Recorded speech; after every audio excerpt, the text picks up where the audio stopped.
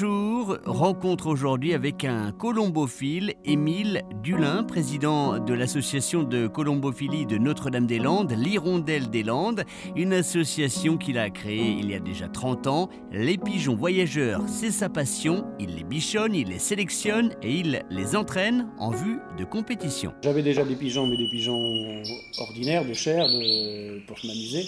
Et j'ai rencontré un copain, un vrai copain, qui lui avait des pigeons voyageurs, il m'en a proposé. Donc au départ j'ai dit plutôt, on va voir pour essayer, puis il m'en a filé allez, 4 ou 5, et de 4 ou 5 c'est passé à 80 maintenant. Il est voyageur, donc ça veut dire que la particularité qu'il a, c'est qu'il revient tout le temps à son colombier. Il ne fait que ça, parce qu'il y a des gens qui pensent qu'on peut, peut, les envoyer n'importe où. Non, on les conduit en voiture, en vélo, plus en vélo maintenant, mais en voiture, et le pigeon revient chez lui à ce colombier, rencontrer donc sa case et son compagnon, sa compagne éventuellement. Euh, l'entraînement euh, pour euh, parce que, se fait progressivement. Quand on a des petits jeunes pigeonneaux, on les laisse voler autour du colombier.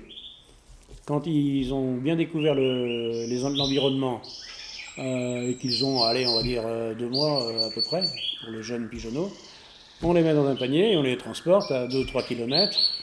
Et là, c'est le baptême, premier baptême, pas de l'air, mais du retour vers le colombier. Donc en principe, ils reviennent, et puis après, de 2 km, on allonge 3, 5, 10, 15, 20 km, puis après, quand on est rendu à 20 km, euh, normalement, on peut aller à, à 50, 100, voire plus. La météo est un des facteurs euh, très importants. Donc quand on a un concours, une compétition, il y a forcément des gens qui prennent la météo, ils la prennent même quelques jours avant, le jour même, et pour lâcher des pigeons à 120 à plus forte raison à 700 km, parce qu'on fait des concours jusqu'à 700 km, Amsterdam l'an dernier par exemple, euh, bah, évidemment, il faut que les conditions soient quand même relativement favorables. Donc s'il y a vraiment un temps, alors ce, que les pigeons n'aiment pas, grand vent, l'orage, le brouillard, allez, je dirais les facteurs numéro un. La pluie, c'est pas idéal, mais euh, surtout vent, orage, brouillard.